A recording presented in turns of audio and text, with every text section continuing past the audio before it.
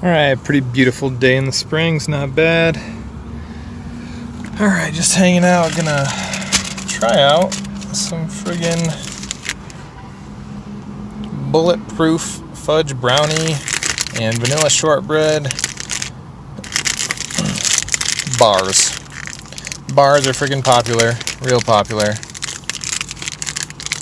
Let's try the brownie one first.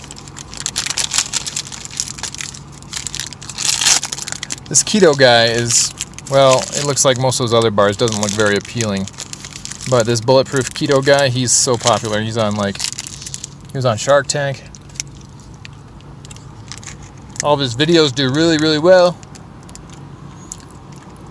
First impression, wow, that's freaking dry.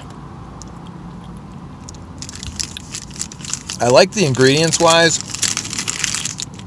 That it's 11 grams of protein, kind of low carb, like uh, five or six net carbs, I think.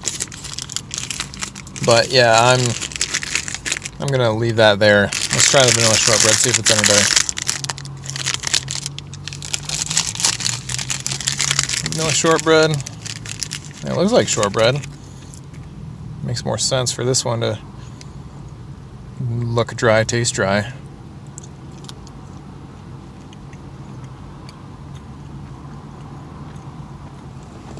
Yeah. Collagen's really hot right now. Of the two of these, I'd say the shortbread's better. I'm wondering if that's a macadamia nut in there. I think it is.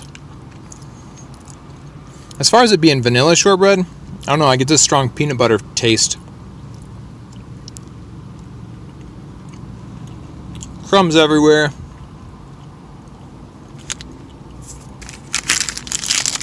What do we got? It's about 6 net grams, 12 grams of protein. So it's got chicory fiber in there. And I probably would not suggest that if you're pregnant because according to history, I believe, like old wives' tales kind of deal, chicory could induce labor. And especially in the first trimester, you don't want to mess with that. All right, so this is the winner of these two. I'd definitely rather have the vanilla shortbread, but neither one of them are all that amazing.